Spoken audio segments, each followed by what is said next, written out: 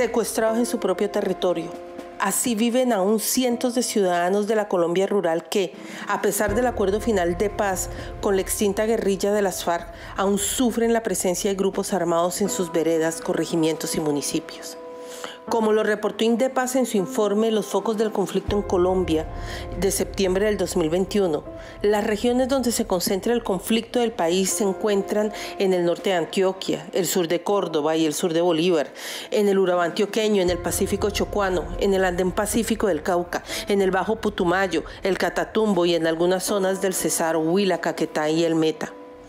Son en estos lugares donde se pasean campantes ante la escasa presencia del Estado 22 estructuras narcoparamilitares entre las que se destacan las autodefensas gaitanistas de Colombia, los caparros, los pachencas, los pelusos, los rastrojos y cerca de 27 bandas delincuenciales emergentes que durante el 2020 tuvieron actividad en 291 municipios.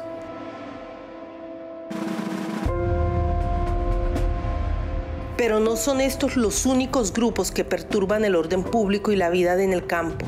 La guerrilla del ELN, vieja conocida de la violencia en Colombia, sigue haciendo presencia en el territorio con cerca de 2.450 combatientes concentrados en ocho frentes de guerra que, durante el año pasado, tuvieron presencia activa en más de 200 municipios de 23 departamentos del país y que se ensañaron particularmente con los departamentos de Arauca, Norte de Santander, Cauca, Chocó y Antioquia. Los grupos disidentes de la FARC también se pelean una importante porción del mapa colombiano, teniendo actividad durante el 2020 en 122 municipios de 22 departamentos. Estos grupos están configurados en 30 estructuras, entre las que se destacan por el considerable número de efectivos que tienen bajo su mando el bloque suroriental, la segunda Marquetalia, el Comando Coordinador de Occidente. Y a pesar de que el conflicto ha venido transformándose y reconfigurándose, los perpetradores siguen recurriendo a viejas tácticas de violación de derechos humanos que sirven para ganar control territorial y aterrorizar a los pobladores de los municipios. Así como lo reportaron las misiones humanitarias en el Chocó y el occidente de Antioquia en su informe colectivo sobre la grave crisis humanitaria y de derechos humanos del 18 de noviembre del 2021, entre estas acciones de amedrantamiento se encuentran los asesinatos selectivos, las amenazas a líderes sociales, políticos y comunitarios, la limitación a la movilidad y la productividad, la violencia y la autonomía territorial de las autoridades étnicas, los desplazamientos forzados individuales y masivos, la violencia sexual basada en género y el reclutamiento forzado de niños, niñas y adolescentes y jóvenes. Todas estas acciones, por supuesto, afectan los procesos civiles, democráticos y electorales, pues diezman la participación de la población e impiden el proselitismo electoral, lo que afecta el desarrollo libre de los liderazgos locales y de veedurías ciudadanas a las actividades públicas.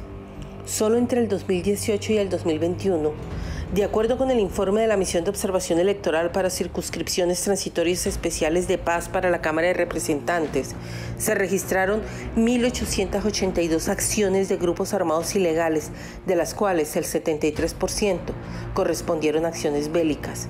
El 27% restante fueron amedrantamientos teniendo lugar el 70% de estas acciones en los 167 municipios que conforman las circunscripciones especiales de paz.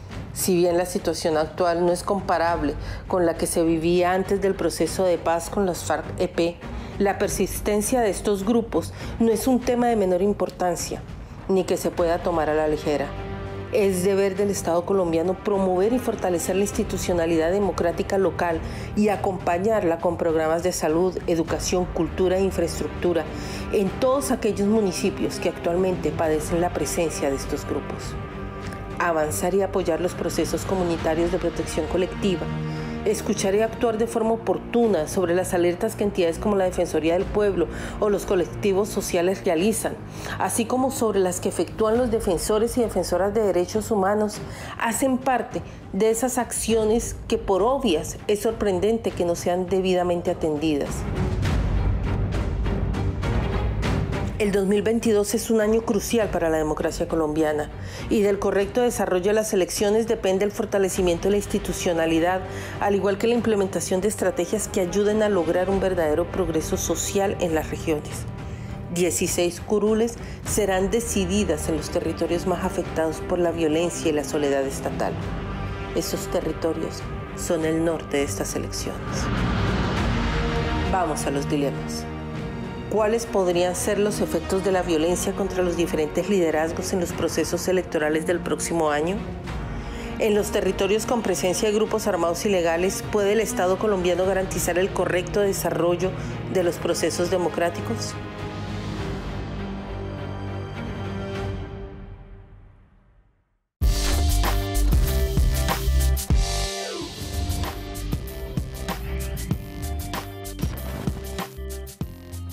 Buenas noches, bienvenidos a Dilemas. Hoy hablaremos sobre la influencia del crimen organizado en los procesos electorales y democráticos que tendrán lugar el próximo año en Colombia, en un país que, a pesar del proceso de paz con las FARC, sigue padeciendo un conflicto que muta cada día por cuenta de la presencia de grupos armados ilegales que buscan hacerse al control de territorios y negocios ilegales como el del narcotráfico, contrabando, minerías y minería ilegal.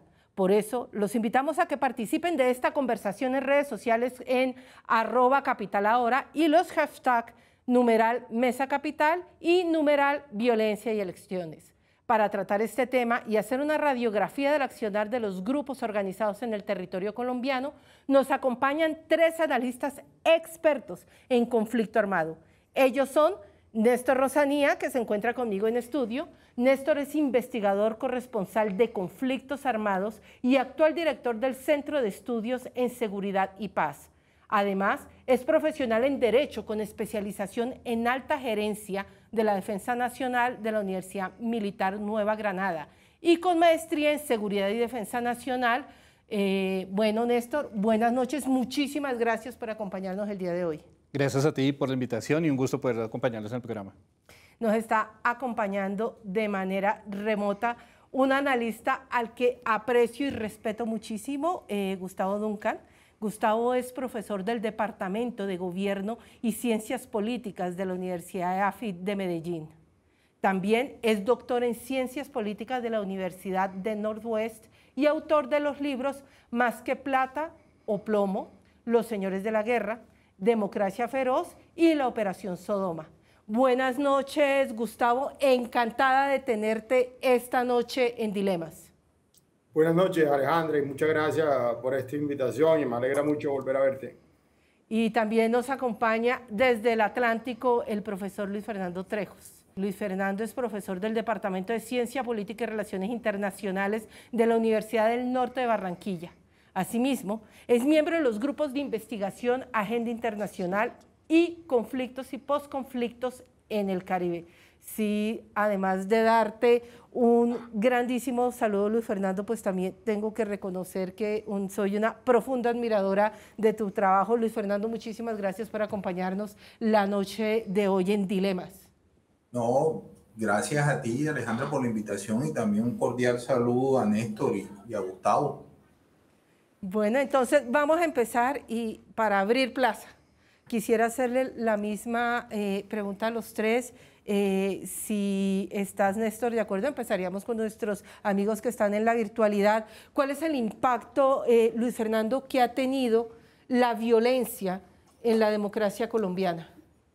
Yo, yo creo, Alejandra, que esto hay que pluralizarlo, digamos, han sido distintos los impactos, pero si uno tuviera quisiera hacer una, una lectura general, pues yo creo que hay dos cosas muy marcadas o tres. Lo primero es que ha sido un freno para el avance democrático en este país, ¿verdad? Para la consolidación de eh, posturas distintas a las tradicionales. También ha acentuado o ha terminado acentuando ciertos estereotipos o ciertos estigmas sobre eh, personas que militan en ciertas o, en particulares tendencias político-ideológicas, ya que sobre ellos se ha generado toda una carga negativa y en ese sentido se ha legitimado la violencia que se ejerce en contra de esas personas en el plano particular.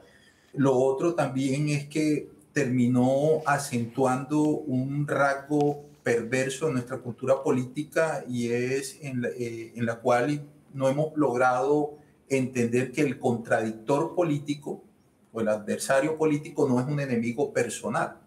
Y como aquí se personaliza entonces la contradicción política, pues automáticamente la violencia se legitima como un mecanismo idóneo para la resolución de esa controversia. Pero yo creo, y después me imagino que más adelante podremos dar esa discusión, Alejandra, yo creo que eh, en los trabajos que ha hecho Gustavo, especialmente lo referido al paramilitarismo, estas discusiones tenemos que bajarlas muy al plano subnacional. Nos hemos quedado mirando siempre la violencia a nivel nacional, que tiene, como te decía, hay unos rasgos muy generales, pero hay unas particularidades territoriales que demandan eh, unos análisis muy puntuales y que quizás eh, nos van a llevar a generar marcos o enfoques de reflexión que solo sirvan para entender dinámicas de violencia en territorios particulares y no nacionales, porque nuestra guerra no es una guerra homogénea, no ha sido homogénea en todo el territorio y eso también implica o trae como consecuencia que las violencias, especialmente las violencias políticas, en cada territorio han tenido unos rasgos diferenciadores y también podrían servir para explicar los desarrollos asimétricos de distintos territorios a nivel nacional. Fernando, efectivamente, y, pasando a Gustavo, pues indiscutiblemente creo que los estudios sobre el tema del paramilitarismo y el impacto que ha tenido a nivel subnacional de los más reconocidos son precisamente de Gustavo Duncan. Gustavo, si pudiéramos mirar cuál es el impacto que ha tenido en la democracia colombiana de manera particular eh, el paramilitarismo en las últimas décadas, eh, ¿cuál señalarías? Y estoy hablando antes del proceso de paz, para poder entrar en el siguiente bloque ya de postproceso de paz. ¿En qué estamos? Para ti, ¿cuáles serían esos principales impactos que ha tenido en la democracia? No, muchos. Eh, creo que habría que incluso que no solo hacer distinción a nivel subnacional, sino también a nivel de periodos. Ah, creo que en los 80 fue un periodo que 80 y principios de los 90 fue un periodo que además se caracterizó porque eh, involucró a, a, la guerra también entre el cartel de Medellín y el Estado. Entonces comenzaron a darse magnicidios a nivel nacional. Entonces no fue solo un problema de amenazas a políticos locales, sino que esas, esas amenazas se extendieron a, a políticos ya nacionales. Eh, me refiero a políticos nacionales, no solo que habitaban en Bogotá, sino que también eh, políticos de otros lugares que tenían una influencia ya a nivel eh, nacional.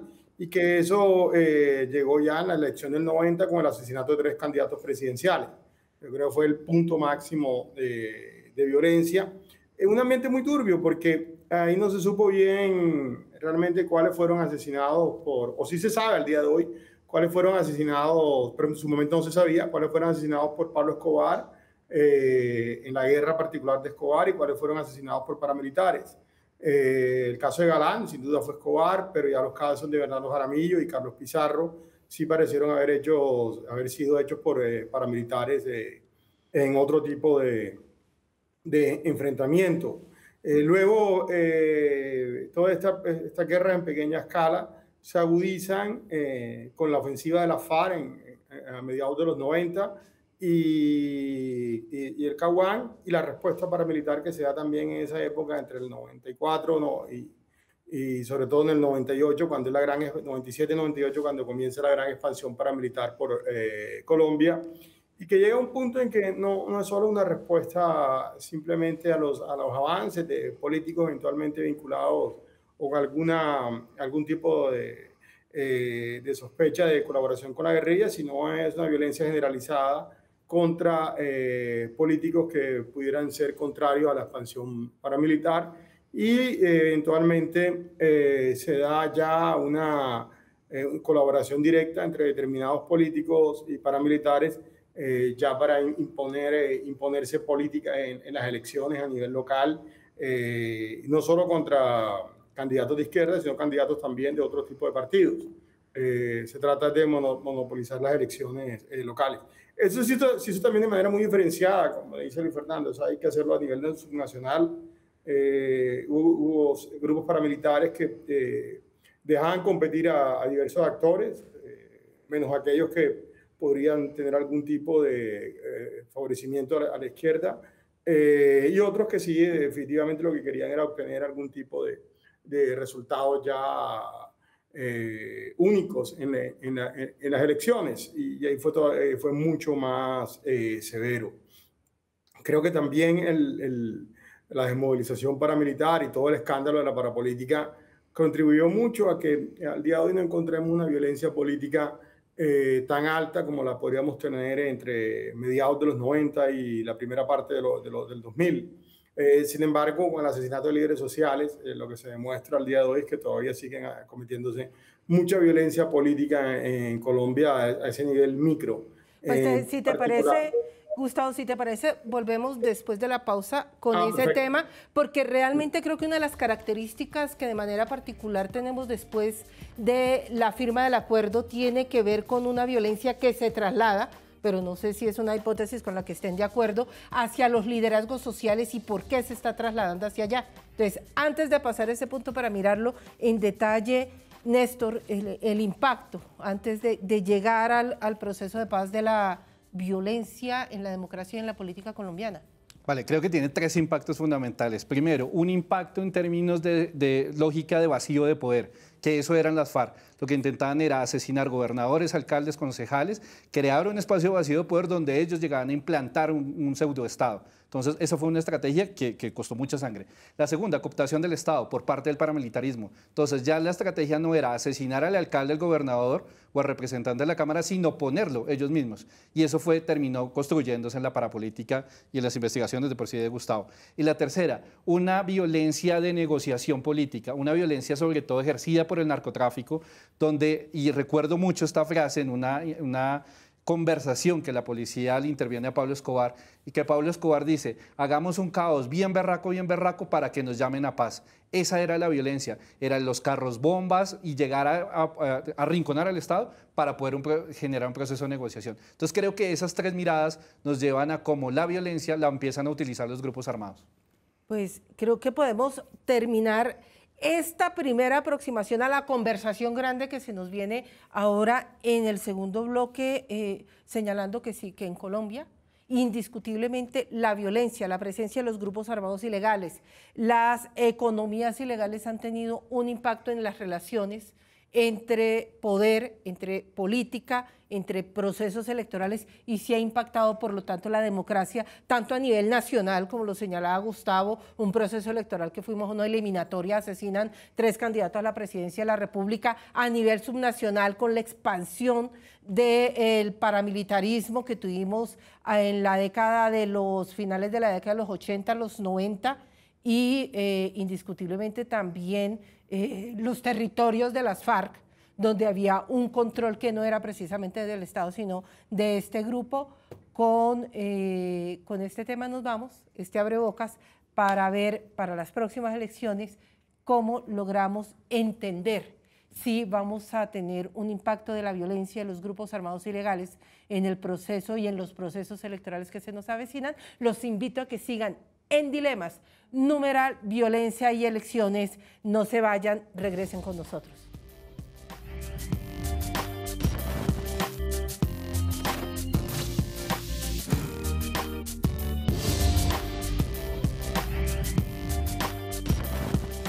Regresamos con dilemas hablando de numeral, violencia y elecciones y por eso tenemos hoy tres invitados de lujo. Sin embargo, me permito recordarles que cualquier información sobre cualquier tipo de anomalía, irregularidad o delito electoral, los invito a que lo informen en pilasconelvoto.com o en el WhatsApp de Pilas con el Voto, el número 315-266-1969. Hablando de elecciones y violencia, eh, Néstor, quisiera empezar con la primera ya, entremos a las elecciones del próximo año hay el proceso de paz con las FARC. Fuimos a uno de los procesos electorales donde hubo una coincidencia entre, eh, creo que la mayoría o la totalidad de los analistas, en que estuvimos en los procesos electorales, tanto de presidencia como locales, más tranquilos de los últimos años. Eh, y esto se ha venido modificando en los últimos tres años, incrementan los niveles de violencia pero tenemos además una fragmentación, una dispersión de grupos armados ilegales, hablamos de narcotráfico, seguimos hablando de presencia del ELN, hablamos de estructuras dispersas em, de quienes quedan como la nueva Marquetalia, em, de eh, disidencias de la FARC. Eh, ¿Cuál es el mapa, si pone sobre esta mesa el mapa de la violencia eh, ¿cómo lo definirías? ¿Y cómo podría impactar el ejercicio de la política? Yo lo defino como un conflicto que se transformó y esto es fundamental. Colombia vive en espirales de violencia. Ahorita lo, que decías, hiciste un recuento, digamos, de este último periodo de los 80 para acá. Pero los historiadores dicen esto, Colombia comienza en 1819 a 1900, los historiadores no se ponen de acuerdo, pero más o menos hablan de más de 35 guerras civiles armadas internas. O sea, la conformación de Estado en Colombia fue un baño de sangre. Terminamos el siglo y comenzamos con la Guerra de los Mil Días.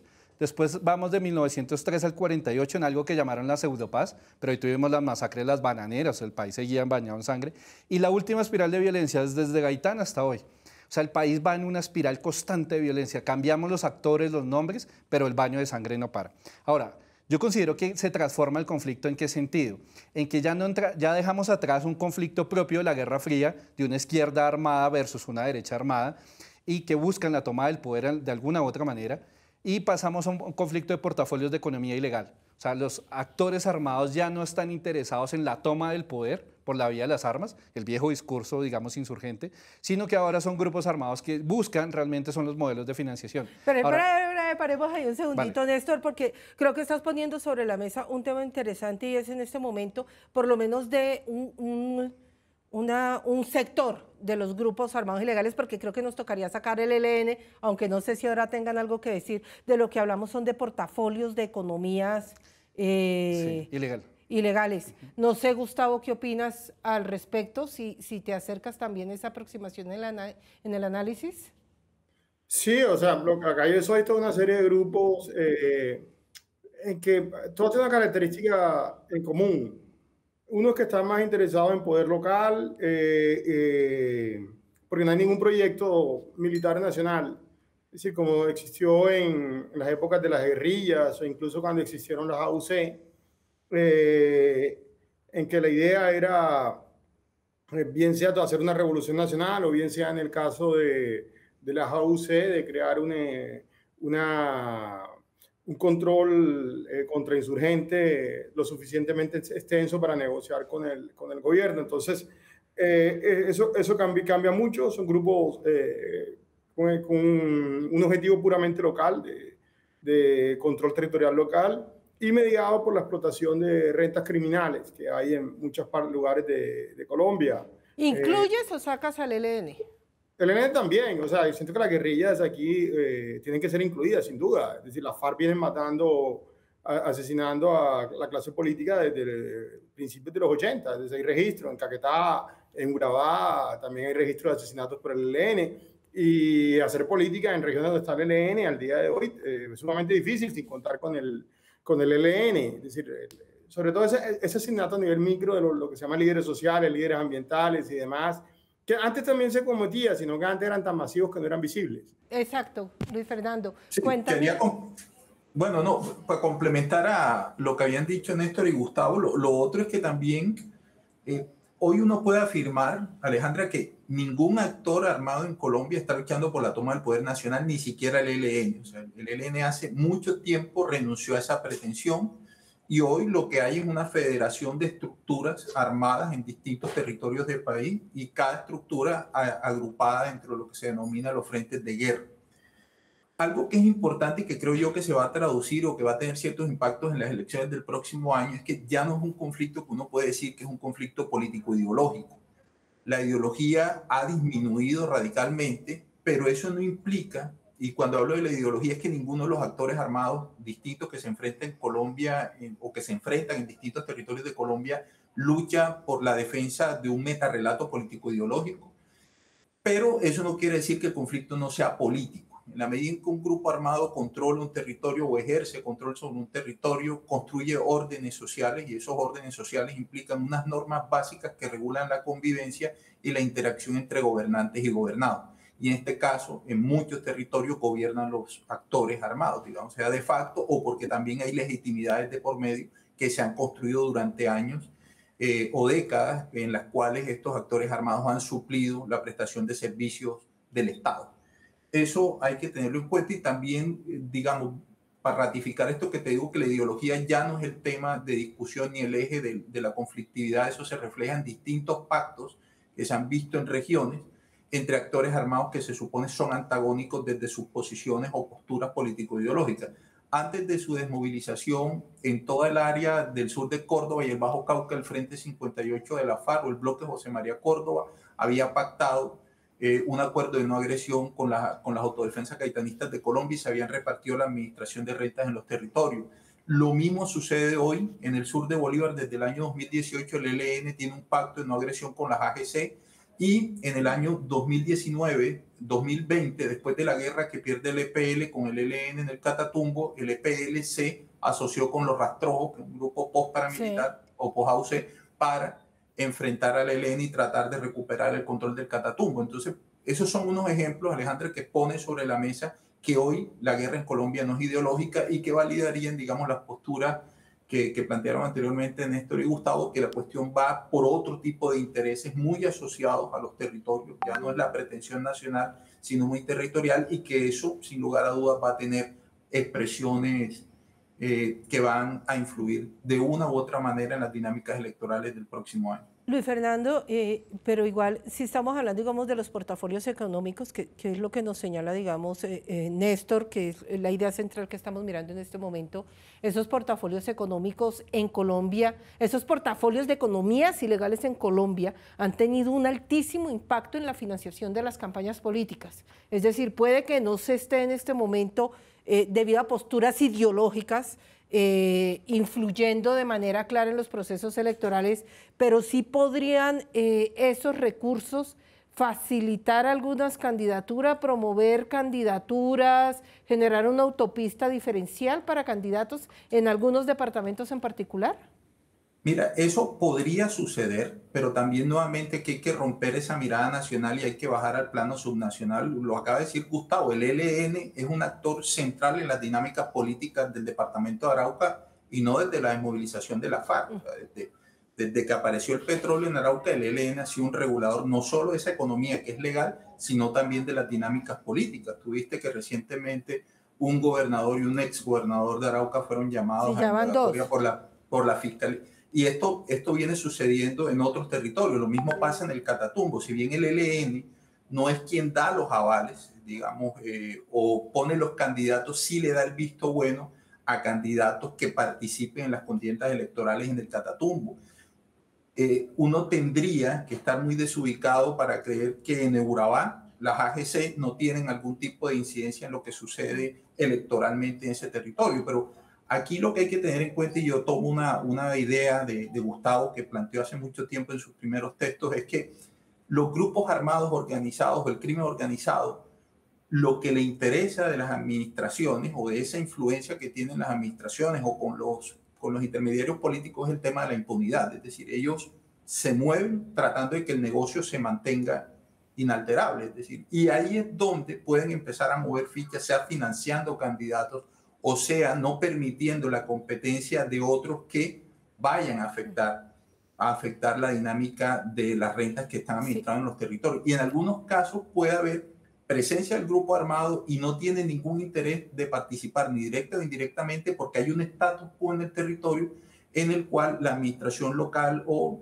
las élites políticas no, no alteran, ni afectan, ni amenazan las dinámicas criminales de los grupos. Entonces hay una especie de coexistencia en los territorios. Néstor, frente, frente a estos temas, digamos, de la posibilidad de esas coexistencias y de las diferencias que está planteando eh, Luis Fernando, Néstor, Néstor, ¿cómo te aproximas también, digamos, esas posibilidades? Y yo creo que sobre todo lo vemos, y ahorita voy a, a preguntarle también a Gustavo, presencias de narcoparamilitarismo y presencias de narcotráfico claramente organizado, por ejemplo, en el andén Pacífico colombiano. ¿Podríamos ver algún tipo de interferencia en materia de financiación, compra de impunidad?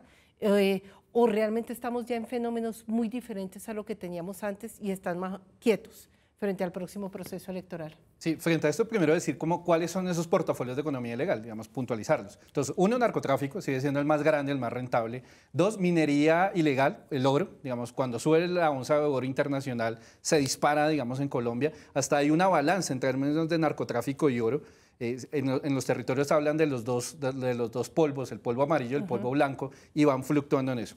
Ahora, tercero, cuando, digamos, cuando yo he ido a las regiones y he hecho las investigaciones, la gente dice, estos son los que más dan plata, pero no dan plata necesariamente todos los días. Hay otras rentas ilegales que ellos llaman la menuda, que son cuáles? Tráfico ilegal de combustible, sobre todo en la zona de norte de Santander. Y a eso le dicen los ordeños, que es que rompen el tubo, instalan una piscina artesanal de crudo, transforman eso en gasolina y es la gasolina que venden a los laboratorios, pero también hasta las bombas de gasolina tradicionales. Y son muchos de esa gasolina que llega a los pimpineros en las calles. Ahora, eso da muchísima plata y eso ellos llaman la menuda porque es plata en efectivo. Otro negocio que es plata en efectivo. Todo el tema, por ejemplo, ahorita en la zona frontera las trochas. Están cobrando 7 mil el paso por persona y ya van en 16 mil ahora en pandemia. Y todas esas trochas, todo el día está pasando gente y ellos tienen unos peajes y van facturando eh, eh, de forma inmediata.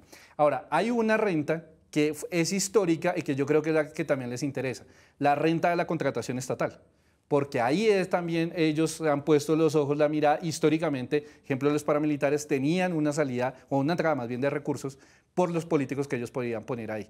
Entonces yo creo que esa de la contratación estatal es de las más apetecidas por estos grupos armados. Ahora, con, ese tema, ¿será que me puedo ir un segundo con Gustavo? Eh, Gustavo, el tema de, y, ya buscando como empezar a que veamos más ya el próximo proceso electoral, si realmente eh, eh, qué tipo de influencias se puede tener en las próximas elecciones, el tema de las contrataciones, el tema de favorecimiento de funcionarios públicos, eh, relaciones con la ilegalidad para favorecer determinados candidatos, los permisos de lo que estuvimos hablando con Néstor, el permiso para poder moverse en Arauca lo tienen que pedir todos los candidatos para moverse en el Catatumbo. Eh, ¿Cómo ves ese proceso electoral en términos del impacto que puedan tener los diferentes grupos armados ilegales en los diferentes territorios del país?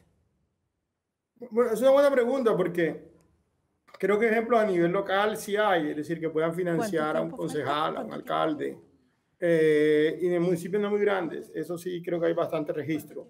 Y eso eh, lo muestra incluso la violencia contra líderes sociales, porque la mayoría de ellos son líderes sociales de un impacto eh, relativamente micro. Eh, pero lo que no es claro es que tenga un impacto ya a niveles de elecciones más grandes. Es decir, que puedan poner un gobernador, por ejemplo. Eso no, no es tan claro. Creo que lo último que vimos fue lo de La Guajira, en el caso de los grupos armados de La Guajira a la incidencia de un gobernador, pero eh, al día de hoy eso ya, ya pareciera ser más complicado. Eh, mucho menos un senador, por ejemplo. O sea, que eh, estos grupos sean capaces de reunir los votos suficientes para apoyar a un senador y que este senador establezca algunos compromisos muy cercanos con ellos, tampoco se ve, se ve muy claro. Entonces, veo, decir, sí es preocupante que esto siga ocurriendo, pero veo un gran avance, porque cuando estábamos en los tiempos de la parapolítica, lo que vimos es en determinado momento, eh, no solo era que había acuerdos entre eh, paramilitares y políticos, sino que en determinadas circunstancias los políticos estaban sometidos en, la naturaleza de estos eh, acuerdos.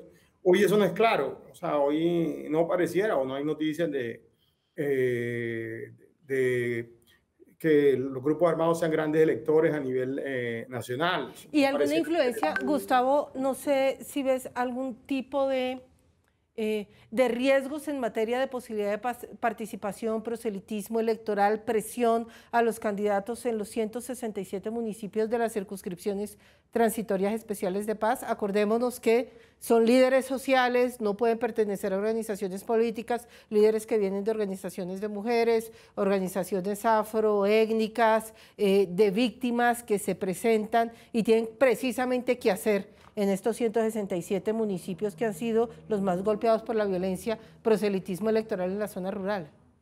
Sí, eso, a ese nivel sí hay, sí, creo que, es decir, están los asesinatos de líderes sociales, los asesinatos eh, también de líderes políticos, eh, y uno supondría también por la vulnerabilidad de estos municipios, es decir, son municipios donde la, la, sociedad civil eh, tiene, dispone no dispone de suficientes recursos como para defenderse de, las rentas criminales eh, y tampoco, para defenderse no, para competir con las rentas criminales. Y eh, también eh, se encuentra que la, la, protección física es mucho menor. frente a la amenaza ya militar que suponen estos grupos. Y esto lo hay, es decir, no es de extrañarse que a nivel local sí podemos hablar de una incidencia electoral, pero repito, es decir, no, no, o sea, lo que no siento es que todavía eso vaya a deportarlo como en épocas eh, pasadas, porque es que en Colombia tuvimos incidencia en la política en proceso 8000 en, y en parapolítica, que eso tuvo incidencia al menos en una ocasión en, las elecciones presidenciales y también en, la, en, la, forma que iba a tomar el, el propio legislativo, el Congreso en Colombia.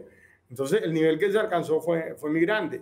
Al día de hoy, la, pregunta que uno se haría, bueno, ¿serán capaces de elegir eh, alcaldes de municipios relativamente grandes? Por decir algún municipio de 100.000 habitantes.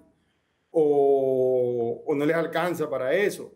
Eh, o simplemente lo que pasará, y algo que seguramente estará pasando, es que algún candidato a una gobernación o al Congreso vaya y negocie con intermediarios políticos, eh, con negociaciones con estos grupos, que eso puede estar pasando. Entonces, lo, que siento es eh, que todavía nos faltaría mucho eh, categorizar y, y, calibrar bien el alcance de, este tipo de poder y cómo eso se traduce ya en, la práctica en resultados democráticos, es decir, qué tipo de elecciones van a afectar, qué tipo de decisiones políticas afectan también, quiénes son susceptibles a la violencia, quién no y hasta qué punto los recursos de estos grupos eh, eh, son incidentes o no. Luis Fernando, el eh, Costa Caribe, pero pues digamos igual lo vimos con senadores y representantes a la Cámara de todo el país, hubo una influencia impresionante en las relaciones y alianzas que hicieron entre grupos armados ilegales, de manera particular paramilitarismo y las casas políticas locales. ¿Qué queda de eso, Luis Fernando? ¿O sigue quedando algo o ya desapareció y lo que quedamos fueron los herederos de los parapolíticos? Pues yo creo que hay unas huellas, unas cicatrices que no, no cierran, eh, Alejandra, en la medida en que, como bien lo dijo Gustavo, gran parte del éxito paramilitar en los territorios fue la homogenización política de los mismos. Y dentro de esa homogenización, pues todo lo que era de diferencia política o que tenía algún rasgo de progresismo, de agenda social, pues fue barrido. Eso alteró la democracia, por eso yo decía que había una afectación en, cuanto al retrasar durante décadas la posibilidad de cambio, de generación de movimientos sociales que impactaran o alteraran, digamos, ese orden que habían construido unas élites que están muy arraigadas en el territorio. Hoy eso no se ve, pero también tenemos entonces a familiares o lo que se llama a parapolíticos gobernando en cuerpo ajeno con sus hijos, sus esposas, sus hermanos, con un caudal político que ellos traían a través de estructuras clientelares previas al paramilitarismo, pero que consolidaron durante el paramilitarismo. Y sale el paramilitarismo y ellos vuelven a su red clientelar tradicional, pero tributándole ahora a sus familiares. Eso se mantiene intacto. Y lo otro es que tú que nombrabas las zonas PD, lo, lo que uno sí le termina haciendo mucho ruido Alejandra, es que si bien hubo un diseño normativo de, los PEDET, no hay un diseño institucional que garantice la participación de los habitantes de los territorios PEDET. Hoy por hoy, en, los, cuatro, en los cuatro territorios PEDET del Caribe hay presencia de actores armados, es decir, creer que va a haber una participación libre y espontánea de los habitantes de la parte alta de la Sierra Nevada, donde están los, los giraldos, eh, eh, eso es muy difícil. O el sur de Córdoba, donde hay una guerra abierta de las AGC contra el Estado, pero también contra un par de competidores que tienen territorio, es muy difícil. Y lo otro, lo mismo pasa en el sur de Bolívar o en Montes de María, donde se ha enrarecido el ambiente de seguridad en los últimos dos años. Allí es muy difícil que haya garantías plenas para que las comunidades, especialmente las rurales, puedan participar, pero también lo que vamos a ver, Alejandra, es que ante la presencia de grupos armados no se va a establecer en esas veredas y en esos corregimientos dispositivos electorales, o sea, hacia allá no van a llevar urnas y un campesino entonces tampoco tiene mayor incentivo de desplazarse tres, cuatro horas hasta la cabecera municipal para poder ir a votar. Entonces hay una fractura de los territorios y nuevamente aquellas personas que históricamente han sido excluidas de la oferta institucional también van a quedar excluidas de la posibilidad de participar políticamente. Eso es lo que, lo que estamos viendo hoy acá, como bien lo dijo Gustavo, esto cambió, teníamos una mirada muy macro de lo que era la participación mafiosa o de actores criminales en política. Hoy esto hay que poner como una especie de microscopio porque se atomizó, pero sigue habiendo una incidencia ahora muy, muy local o micro local y no nacional.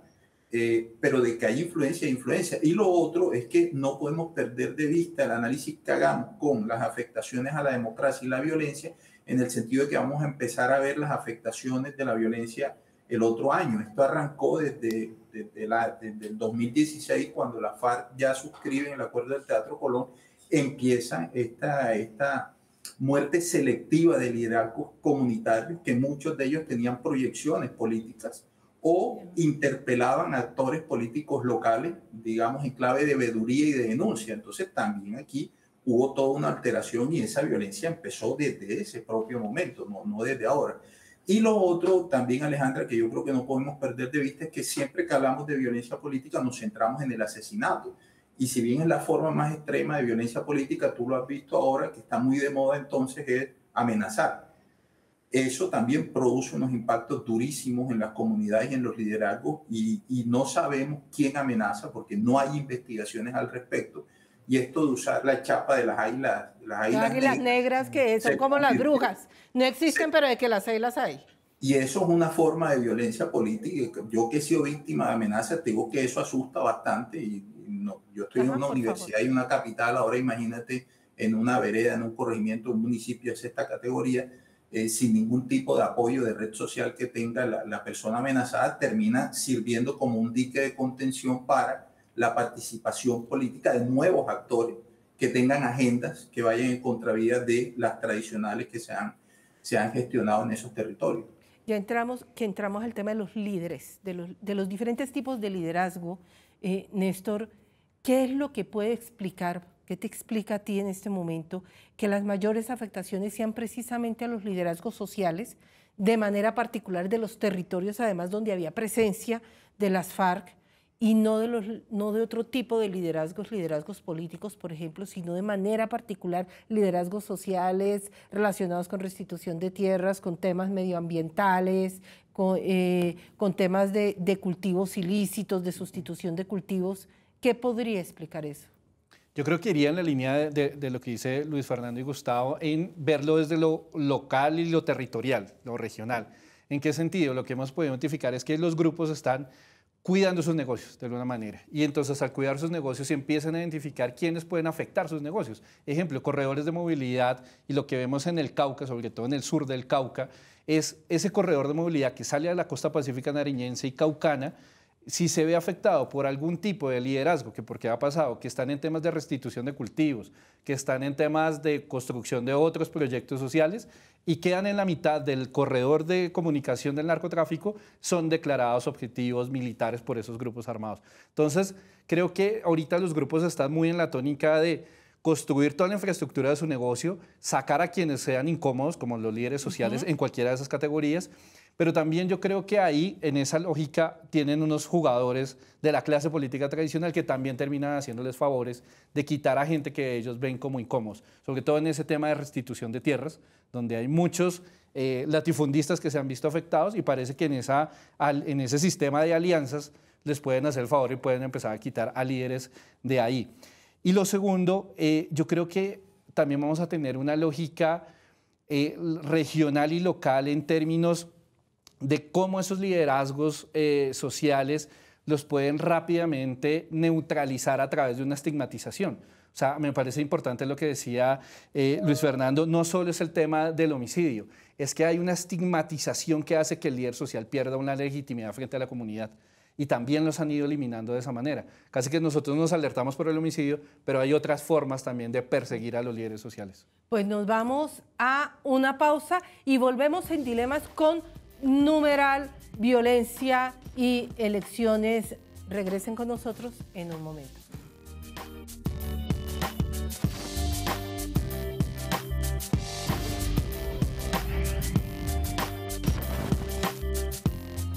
Regresamos con dilemas hablando de numeral violencia y elecciones. Y por eso los invitamos a informar de cualquier irregularidad, anomalía, delito electoral en pilasconelvoto.com o en el WhatsApp 315-266-1900. 69. Todos podemos aportar a la transparencia de las próximas elecciones. Me voy con la última pregunta y es, ¿vamos a elecciones a Congreso de la República?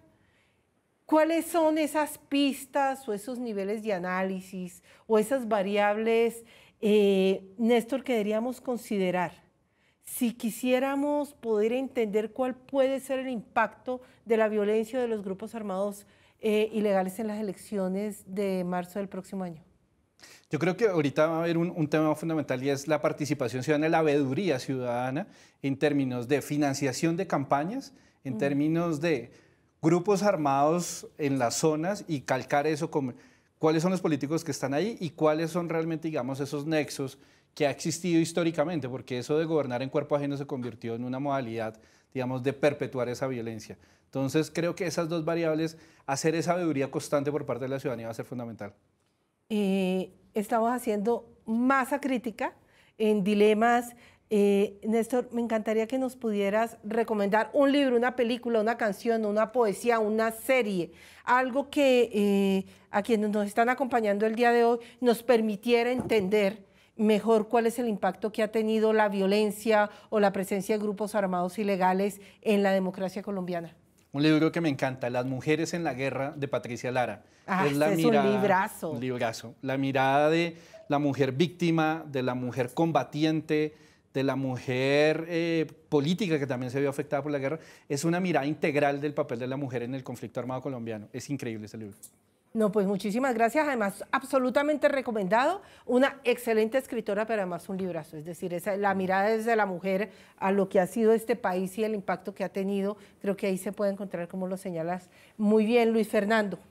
¿Cuáles serían esas variables, esas pistas para hacer el análisis el próximo año de los posibles impactos de la violencia de grupos armados ilegales en las elecciones? Bueno, el territorio, como bien lo dijo Néstor, primero donde haya rentas ilícitas, entendido como cultivos de, coca, minería ilegal, esas son centrales. Presencia de grupos armados, pero presencia activa, no solo de paso, sino presencia activa, eso también es un determinante en algunos territorios que pueden incidir o no en la participación y en la elección de, de los ciudadanos. Y lo otro son los antecedentes o alianzas de los candidatos políticos por otro lado, yo también creo que hay unos candidatos que se presentan ahora con cierto grado de vulnerabilidad, ¿verdad? Caso de, la, de los excombatientes de FARC, uno sabe que ellos no van a poder hacer proselitismo político en todos los territorios de Colombia, en territorios que para ellos son vedados y que creo que también sobre ellos debe haber una cierta mirada eh, y aquellos liderazgos sociales y comunitarios que se han proyectado a lo político. ellos creo que son más vulnerables frente a la violencia que actores políticos tradicionales. Y con respecto a las recomendaciones que, que, tú solicitas, Alejandro, yo me parece que hay dos libros que son muy buenos para, para la coyuntura actual.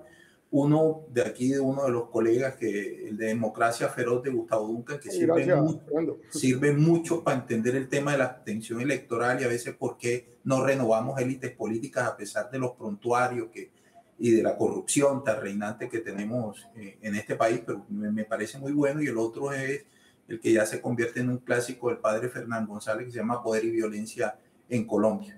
también que sirve bastante para entender el contexto nacional.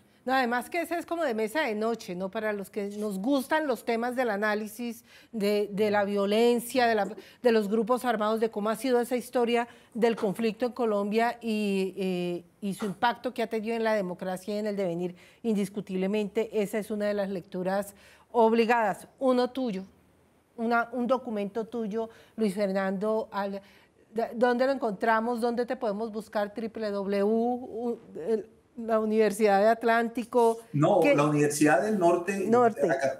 acabamos de publicar un libro precisamente sobre capacidad administrativa y, y PEDEX en el Caribe, donde hacemos todo un análisis de no solo de las condiciones de seguridad que hay en los territorios, sino también de las administraciones locales para poder gestionar la paz en los territorios.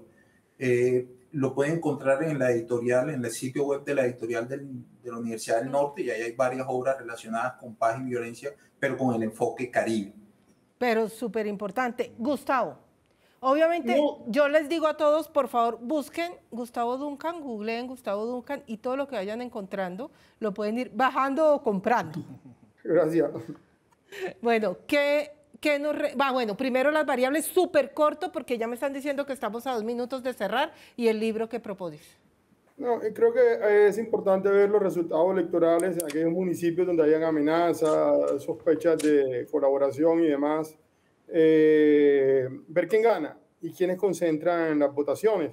Porque desde el punto de vista ya de, de, metodológico para analizar cómo incidieron es muy difícil, pero al menos eso sería una primera aproximación, además de la que han hecho Luis Fernando y, Néstor. Y, Néstor. Yo creo que ahí habría, ese sería el espacio por donde entrar, porque eso se va a ver mucho es entre acuerdos en políticos locales con políticos eh, con aspiración al Congreso. bueno, los libros que ya por acá me están haciendo caras. Yo voy a recomendar una serie eh, que creo que eh, es de las mejores hechas sobre crimen organizado y, y sus relaciones con el poder y como la, la forma como ejercen el poder. Gomorra, es una serie italiana bastante buena. Se la recomiendo sobre el control de Nápoles.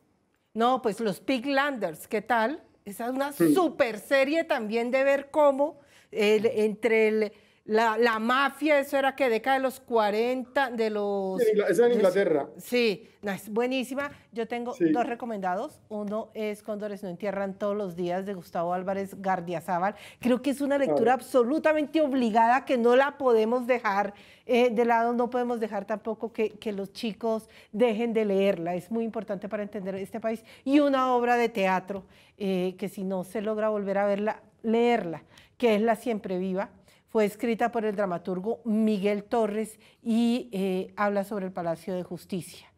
Eh, violencia, política, poder. Asimismo, los invitamos a todos y a todas a informar sobre cualquier anomalía, irregularidad electoral en www.pilasconelvoto.com frente al próximo proceso electoral. Muchísimas gracias por habernos acompañado el día de hoy con numeral, violencia y elecciones. Síganos acompañando en nuestras redes sociales y nos vemos dentro de ocho días a esta hora por Canal Capital. Gracias, Alejandra.